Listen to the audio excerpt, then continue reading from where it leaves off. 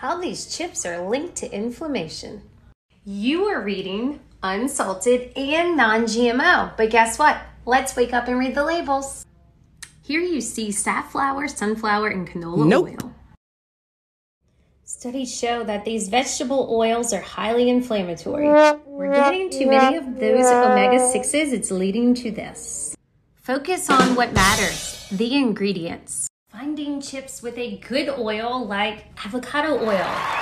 That's anti inflammatory. Hosting a free live Reading the Labels Challenge of the Year. Be sure to visit readthelabelschallenge.com to sign up.